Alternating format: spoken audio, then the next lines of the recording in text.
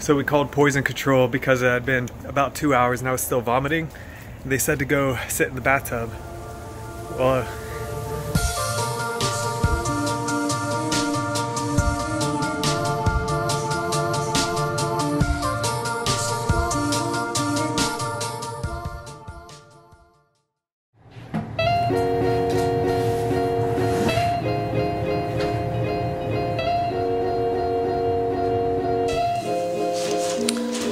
Now just go ahead and insert this with the arrow. There's the arrow.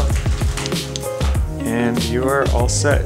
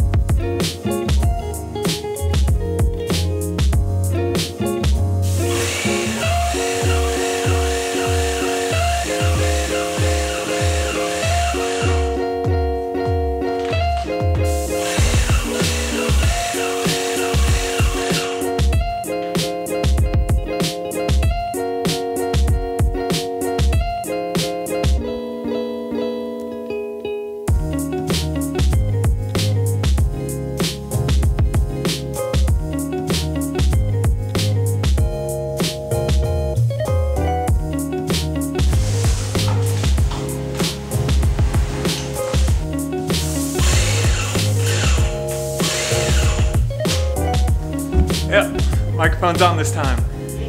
All right, so today, day six, I believe it is, we lost our intro, right? I'll have to refilm that because again, I didn't put the audio on, right? Um, but look, we got everything painted. Look at that, it's amazing. Actually makes a huge difference, a lot brighter in here.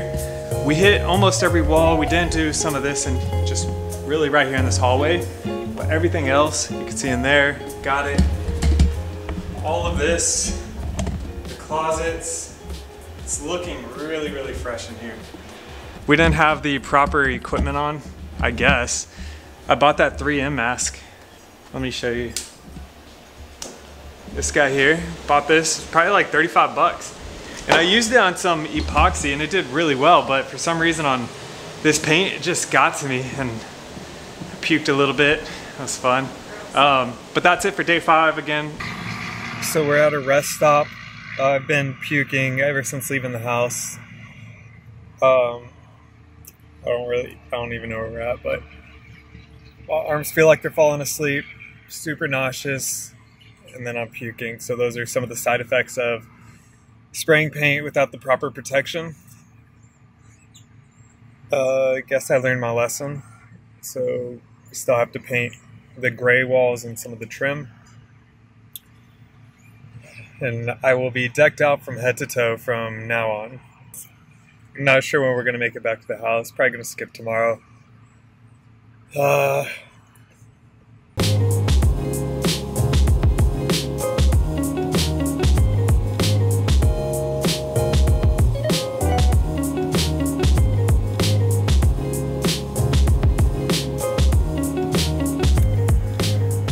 So we called poison control because it had been about two hours and I was still vomiting.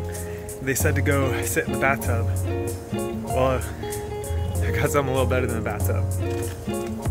Stock tank pool and some sparkling water. Oh, that is so cool.